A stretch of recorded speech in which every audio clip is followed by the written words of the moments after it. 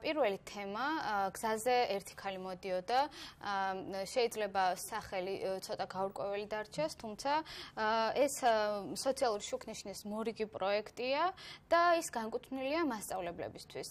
დიახ, საინტერესოა ისიც, რომ ის ითვალისწინებს საკუთარ თავში სხვადასხვა რესურსის შექმნას და ძირითადად ეს რესურსი მიმართულია იმ მნიშვნელოვან თემებზე, როგორიც არის გენდერული თანასწორობა, დისკრიმინაცია და სტერეოტიპები. საინტერესოა მარიამ, ვის შეუძლია ამ პროექტში მონაწილეობის მიღება, ამ მონაწილეობის მიღება, ასევე დეტალებიც გვაინტერესებს და ჩვენ მაყურებელსაც საინტერესებს, რა თქმა უნდა, ჩვენ შევეცდებით უნდა დავუკავშირდეთ ამისთვის ივანე. რეჟისორს კითხავ თუ ყავს ქალბატონის სოფო ბაჩილავა. საღამოშიდობისა ქალბატონის სოფო. როგორ გესმით ჩვენი? მოგესალმებით სოფო. მოგესალმებით. ძალიან დიდი მადლობა რომ მოახერხეთ ხართ ჩვენი გადაცემის სტუმარი და საკმაოდ საინტერესო პროექტის შესახებ ვიწევს თქვენთან ერთად საუბარი. სოფო ძალიან დიდი მადლობა მოწვევისთვის. სოფო გზაზე ერთი ხალი მოდიოდა. აა ზოგადად პროექტის კონცეფციის შესახებ რო ვისაუბროთ, რას გულისხმობს პროექტი? აა გეტყვით რომ პროექტს ახორციელებს სოციალური შუქნიშანი ქალთა ფონდის დაფინანსებით და ამ პროექტის მთავარი მიზანი გახდათ რომ სივრცე შეგვექმნა, სადაც თავს მოიყრიდა საინტერესო ისტორიები ქალების შესახებ. რადგან როგორც არაერთმა ყველამ აჩვენა სამწუხაროდ стереოტიპები, რომ თითქოს ქალბატონებს რაღაც უფრო ნაკლებად შეუძლიათ ან არც თუ ისე კარგად შეუძლიათ, გავლენას ახდენს როგორც თავად ქალბატონების თვითშეფასებაზე, საბოლოოდ ეს გავლენას ახდენს მათ პროდუქტიულობაზე თუ თუ დამკვიდრებაზე და არავისთვის არ არის მოკლედ კარგი გაეროს ერთ-ერთ მომხსენებელმაც ამას წინ თქვა რომ ისტორია ისტორია რომელსაც თუნდაც სკოლაში ბავშვები სწავლობენ გაჯერებულია მიღწევებით რომლებიც ძირითადად უკავშირდება მამაკაცებს. ჩვენ რა თქმა უნდა არ არ ვამბობთ რომ მათი მიღწევები არ არის საინტერესო ან არ არის იმგვარად საინტერესო რომ დიდი დრო დაუთმოთ თუმცა ვფიქრობთ რომ ის ისტორიები რომლებიც ეს უჩინარია ჩვენს გაუჩინარებულია ჩვენს ირგვლივ თავი უნდა მოუყაროთ და გავაცნოთ როგორც საზოგადოება ხალხს, განსაკუთრებით ახალ თაობას და ხელი შეუწყოთ, რომ გოგონების თვითშეფასება კიდევ უფრო ამაღლდეს. დიახ, სოფო საინტერესოა ისიც, რომ თქვენ გეწერათ სტატუსი გზაზე ერთი ქალი მიდიოდა და იქ ამოვიკითხავთ, რომ კონკრეტული ეს პროექტი გულისხმობდა სხვადასხვა საჭირო და მნიშვნელოვანი რესურსის შექმნა საინტერესოა ეს რესურსები და ამ რესურსები რაღაც თემატიკაზეა შექმნილი, რამ განაპირობა მათი საჭიროება დღევანდელობაში? მოგახსენებთ, როგორც გითხარით, პროექტის მიზანი პრინციპში აღწერე და აი ამ მიზნიდან გამომდინარეც ძალიან ბევრი რესურსია რეალურად თუნდაც ინტერნეტში გაბნეული და სჭირდება დრო რომ შეკრა თემატურად. შეგვიძლია დაკონკრეტება რა სახის რესურსებზეა საუბარი? აუცილებლად, აი მან თქვენ მიყავს ზუსტად საუბარი, რომ არის საკმაოდ ბევრი რესურსი, მაგრამ თუნდაც აი მასშტაბლებს სჭირდებათ დრო და რაღაც ისეთი საკმაოდ დიდი დრო მოკლედ რომ მოიძიონ კონკრეტული თემის გარშემო სხვადასხვა საინტერესო მასალა. ჩვენ ერთი რომ თავადაც ვქმნით სხვადასხვა მასალას გულისხმობ პატარა ვიდეოებს მოგეხსენებათ რომ დღეს თქვა ტექნოლოგიების გამოყენება კიდევ უფრო ეფექტურს ხდის სასწავლო პროცესს და ვფიქრობ რომ ეს ძალიან მნიშვნელოვანია. ამიტომ ხელს უწყობთ ამას შევქმნით და იქნება ამ წუთასაც ესეთი ვიქტორინები რომლებიც სხვადასხვა ელექტრონული აპლიკაციის საშუალებით იქნება შესაძლებელი რომ მოსწავლეებმა ითამაშონ.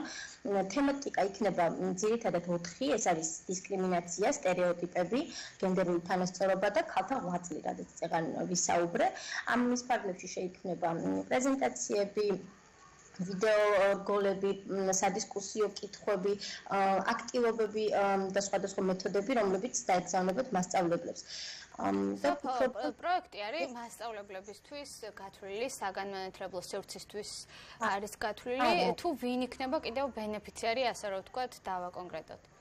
არა მხოლოდ მასწავლებლებისთვის, ნებისმიერ სურვილს, ნებისმიერ პროფესიის თუ ასაკის ადამიანს შეუძლიათ გაეცნოთ ჩვენ Facebook გვერდს, გზაზე ერთი ქალი მოდიოდა, სადაც მუდმივად იდება საინტერესო ინფორმაცია სხვადასხვა ქალბატონის შესახებ, ასევე ჩვენ გვაქვს რადიო გადაცემა, რომელთანაც იგებენ ადამიანები სიახლეებს და საინტერესო მოსაზრებებს, როგორც თლიანად საზოგადოებისთვის, ასევე კონკრეტული ჯგუფისთვის მასწავლებლების სახით. თუმცა ამ რესურსებზე რომელმაც არ არის შეზღუდული და თავისთავად ხედავ ვინმე თუ გამოთქვამს სურვილს თავადაც უნდადეს დარეგისტრირდება მუზე რომელიც არის მითითებული ჩვენს Facebook გვერდზე. გზაზე ერთი ხალი მოდიოდა და ჩვენ მათ გადავცემთ რა თქმა უნდა ამ რესურსების კრებულს. როგორც ეს რესურსები მოიაზრებს თავისთავში როგორც უკვე არსებულ რესურსებს სხვადასხვა პირის მიერ შექმნილ თუ ორგანიზაციების მიერ შექმნილ რესურსს და გაერთიანდება უბრალოდ რაღაც ბაზა შეიქმნება. და მეორე თავად ჩვენს მიერ დაწერილ ბლოგებს შექმნილ რადიო გადაცემებს თუ პოსტებს საგანმანათლებლო პოსტებს რომლებიც უკვე რამდენიმე თვეა ჩვენს Facebook გვერდზე იდება დიახ, სოფო საინტერესო ასევე ისიც რომ ერთია პროექტის მომზადება, შემდეგი არის თქვა სამიზნე ჯგუფების განსაზღვრა, მაგრამ ძალიან მნიშვნელოვანია ამ ფაქტორში ისიც რომ მიაწოდოთ ინფორმაცია ესეც ასარგებლო და საინტერესო პროექტების შესახებ. თქვენ ახსენეთ რადიოც ახსენეთ და სხვადასხვა საშუალებები, აი მაგალითად კიდევ უფრო როგორ ფიქრობთ რომ მეტმა ადამიანმა გაიგოს ამ პროექტის შესახებ და ისიც ვთქვა ჩვენ მაყურებელს, სად შეიძლება რეგისტრაციის გავლა და პასუხს როდის მიიღებს, გაიერა თუ არა მან კონკრეტული გზა იმისთვის რომ იყოს ამ პროექტის მონა მონაწილე? ჩვენ პროექტის ასე ვთქვათ რეკლამირებას ძირითადად ვახდენთ მაინც სოციალური ქსელით. სოციალურ ქსელში ვავრცელებთ ძირითადად ინფორმაციას. მათ შორის აი ამ ბმულიც დევს ჩვენს Facebook გვერდზე. ერთი Facebook გვერდი თვითონ საინიციატივო ჯგუფის სოციალური შუქნიშანი აკაცდებს და პლუს თვითონ პროექტის Facebook გვერდზე ხალი გზაზე ერთი ხალი მოდიოდა შეუძლიათ რომ დარეგისტრირდნენ ამ მუზე და ავტომატურად როგორც კი გავიან რეგისტრაციას გაჩვენებს რომ მათ წარმატებით აქვთ გავლილი ეს პროცესი და შემდეგ უკვე მოპოვებული ინფორმაციით გულისხმობ ელექტრონულ პოსტებს ამას დაეგზავნებათ თებერვლის შუა რიცხვებამდე ეს შეკული თქვა მასალა. დიახ. სოფო ასევე წერილს მადლობა გადაგიხადეთ, თუნდაც თქვენი დაინტერესება ეს ერთიორად ის ჩვენს мотиваციასაც და თავისთავად აუდიტორიასაც, რომელსაც ჩვენი პროექტი შესახებ ახლა უკვე ეცოდინება. რა თქმა უნდა, მნიშვნელოვანია მედიის როლი ასეთი პროექტების და წამოწყებების გაშუქების დროს.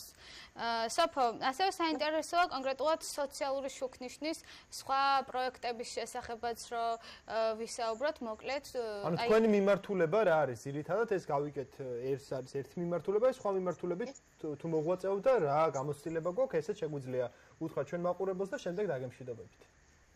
მადლობა.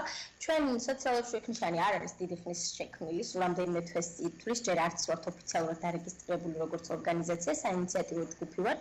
ძირითადი მიმართულება ერთი ყველაზე მნიშვნელოვანი არის აზარტული თამაშების შესახებ ცნობიერების ამაღლება, რასაც ჩვენ მე და ჩემი მეგობრები ერთად სულად მოხალისეობრივად ვაკეთებით რამდენიმე თვის განმავლობაში კამპანია გქონდა ასეთი.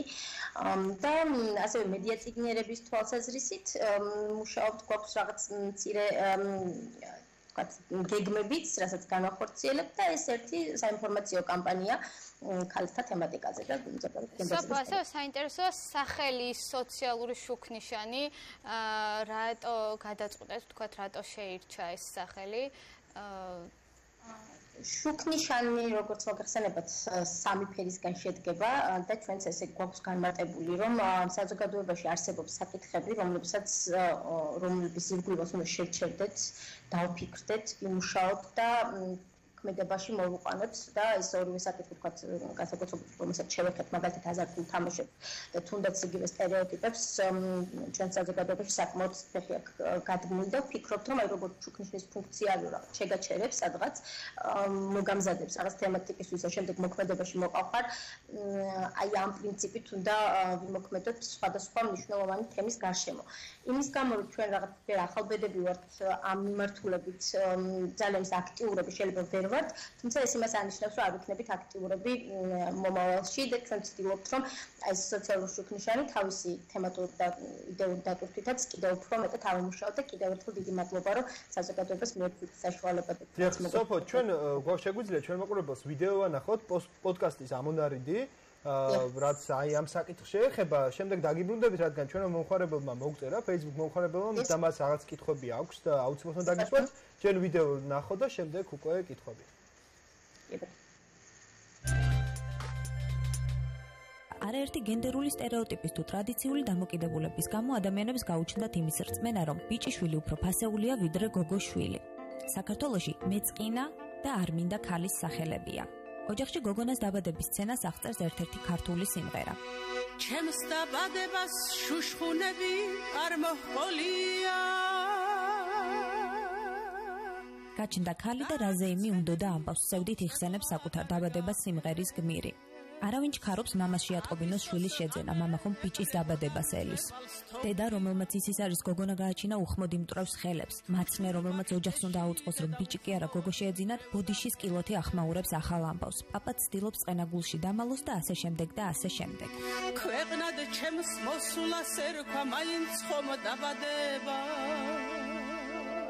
შესაძლოა ვინმე შეგვედავოს რომ შვილის სქესი მნიშვნელოვანი დიდი ხნის წინათ იყო და დღევანდელ საქართველოში მსგავსი პრობლემა აღარ არსებობს. თუმცა სტატისტიკა გვიჩვენებს რომ 1995-2015 წლებში ბიჭი შვილის ყოლის სურვილის გამო მშობლებმა 31000-ზე მეტ გოგონას არ მისცეს დაბადების უფლება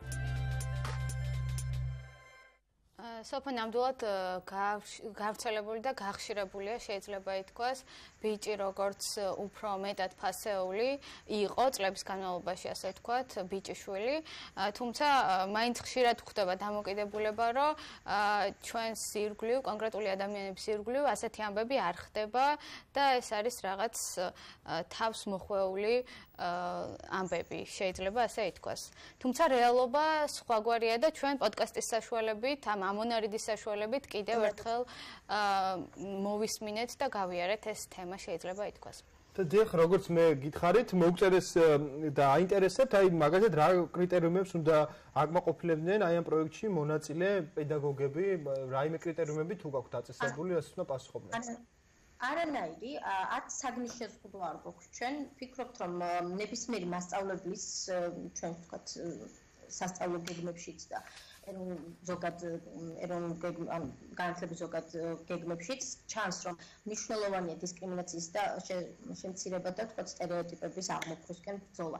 ასე რომ ნებისმიერი მასწავლებელი რომელიც თავად თვლის რომ თუნდაც სადამრიგებლო საათისთვის თუნდაც თუნდაც სამოქალაქო განათლების გაკვეთილებისთვის ქართულის გაკვეთილებისთვის ჭირდებათ ეს რესურსი შეუძლიათ თავისუფლად თავისუფლად დარეგისტრირდნენ და მიიღონ აღნიშნული თქო შესაძლებლობა რომ გამოიყენოს აქ საკუთილო პროცესში ეს ყველაფერი შეიძლება მშობლებისთვის გააკეთდეს შეხვედრები და მათ აქ გამოიყენონ მასწავლებლებმა არ ზღუდავთ არავის თავისნებით შეუძლიათ არ გამოიყენონ სრულად და გამოიყენონ მხოლოდ ნაწილი და ის ნაწილი რომელიც მათ საგნისთვის და მათი საგაკეთილო თემისთვის იქნება რელევანტური. ჩვენ სულ რაღაც ერთი დღენახევარია რაც ეს ლინკი გავუშვით, მული გავუშვით სოციალურ მედიით. დიახ, ხა ჩვენი მაყურებელი ხედავს ამ ყველაფერს, დიახ. დიახ, უკვე დარეგისტრირდა საკმაოდ რაოდენობის მასწავლებლები და მიხარია ძალიან, რომ ეს არ არის მხოლოდ თქვა თბილისიდან ან დიდი ქალაქებიდან, უბრალოდ რეგიონებიდან მასწავლებლებს და სხვადასხვა მიზნით და ზუსტად ისინი ასახელებენ ჩვენ ერთ-ერთი კითხვა გვაქვს, თუ რაში გამოიყენებენ აღნიშნულ მასალას. და მიუხედავად იმისა, რომ მასალის თქვა ასე ვიზუალურად არ ნახავთ რას გავგზავნით, მათ მიერ მინიშნებული ის სივრცეები, სადაც აპირებენ რომ გამოიყენონ მასალა, ჩვენთვის კიდევ ერთხელ გახდა იმის მაჩვენებელი და სიგნალი თუ საერთოდ შეიძლება კიდევ წარმართოთ თქვა ჩვენი მუშაობა და დავამატოთ რაღაც ისეთი რაღაც. სოფო, როგორც ჩვენ ხედავთ, ძალიან მარტივი ველებია, რომელ რომელ კლასებში ასწავლით, სკოლა ან სკოლებში რომელშიც ასწავლით, თქვენი საკონტაქტო ელექტრონული პოსტა საკმაოდ მარტივად შესავსები ველებია და დარეგისტრირებაც არ წარმოადგენს დიდ სირთულეს. აა სოფო, ასევე გვაინტერესებს ისევ სკოლას საგანმანათლებლო სივრცეს ვეხებით. თქვენ გქონდათ გაქვთ გამოცდილება ბავშვებთან მუშაობის, როგორც სოციმუშაოქს და საინტერესოა აი თქვენი ურთიერთობის დროს ძირთადად ბავშვებში რა სახის стереოტიპებს აწყდებოდით და რა სახის წინასწარ განწყობები იყო, ასე ვთქვათ, ახალ თაობებში გავრცელებული ყველაზე მეტად გენდერულ თანასწორობასთან თუ სხვა საკითხებთან დაკავშირებით. არა მხოლოდ როგორც სოციალური აღმოჩნდა გამოცდილება როგორც სკოლის სოციალური მუშაობის, ასევე რამდენიმე წელია სამოქალაქო განათლების მასწავლებელი ვარ და მაგალითად სამოქალაქო განათლების პროგრამაში ვიყავი აქტიურად ჩართული. მას მოსწავლეები პრინციპში რომ თქვა იქ საზოგადოებაში რა სტერეოტიპებიც არის გავრცელებული, რაღაც მნიშვნელოვნად არ განსხვავდება ეს სტერეოტიპები მოსწავლეებში. თითქმის იგივე რახთ ანარეკლივით არის და განსაკუთრებით როგორც თქვით იგივე გენდერული стереოტიპების მიმართულებით ეს стереოტიპები ხდება როგორც მოსწავლეებში ისე მასწავლებლებში ეს არ არის რაღაც კონკრეტულ სკოლიდან გამომდინარე საერთოდ ფონი ასეთია. თავისთავად არ გულისხმობ ყველას არც მოსწავლეს არც მასწავლებელს და მნიშვნელოვანია რომ ის стереოტიპები თქვათ იქნება ეს გენდერული თუ ნებისმიერი სხვა ნიშნით ჩვენ ხედავთ საკმაოდ სიძულით სიძულის ემით არის ხოლმე გაჯერებული თუნდაც იგივე Facebook სივრცე თუ online სივრცე სხვადასხვა ხრივ იქნება ეს გენდერული стереოტიპები, სხვადასხვა ეთნიკური წარმოების ადამიანების მხრივ თუ ასე შემდეგ რაღაცა შიშები ინერგება თითქოს ჩვენს ირგვლივ რომ ვიღაც უცხოა, ვიღაც საშიშია, ვიღაც ვებრძოლოთ და ასე შემდეგ. ვფიქრობ რომ ჯანსაღი კრიტიკა, ჯანსაღად სიტუაციის გაანალიზება და стереოტიპების თვის შეხედა იმ თვალით რომ რა რა იწვევს ამას და რა შედეგი შეიძლება გამოიყოს საბოლოოდ ძალიან მნიშვნელოვანია მით უფრო ახალ თაობაში და ეს კრიტიკული აზროვნების დაპირისპირება стереოტიპებთან მიმართებაში ვფიქრობ ძალიან მნიშვნელოვანია. სოფო ძალიან დიდი მადლობა იმისთვის რომ მოახერხეთ და იყავით ჩვენი სტუმარი, ჩვენ წარმატებას გისურვებთ ასევე იმ ადამიანებს რომლებიც თქვენ პროექტში მიიღებენ მონაწილეობას. ჩვენ მოყვებას კიდევ ერთხელ შევახსენებთ რომ სოფო ბაჩილოვა სოციალური შუქნიშნის პროექტის ავტორი იყო ჩვენი გასული. სოფო მადლობა.